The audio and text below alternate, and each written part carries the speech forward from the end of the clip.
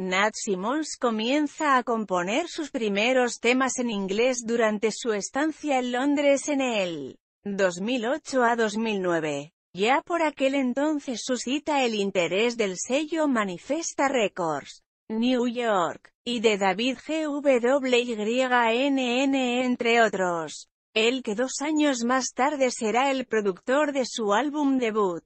También ese mismo año es nominada a los premios Popeye 2009 como Mejor Artista Folk y Mejor Voz. A la vuelta a España comienza a dar conciertos participando en el ciclo Ellas Crean 2010, tocando en un amplio número de locales de la capital. En ese mismo año graba lo que serán sus dos primeros temas en estudio bajo la producción de Alex Olmedo, La Naranja a China. En mayo del 2011 es invitada por Radio Nacional de España junto con Julio Ruiz, para participar en un programa de homenaje a Bob Dylan, siendo entrevistada y tocando dos temas en directo.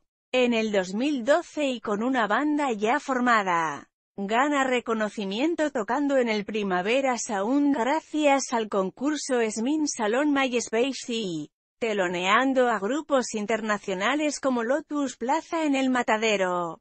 Paralelamente durante 2012 a 2013 graba su primer disco Homon High bajo la producción de David GWYNN y con la colaboración de Manuel Cabezalí. Avalina. En junio del 2013 Santiago Alcanda presenta un adelanto del disco con el tema Strange Music Avenue en nuevas voces de su programa Como lo oyes en Radio 3.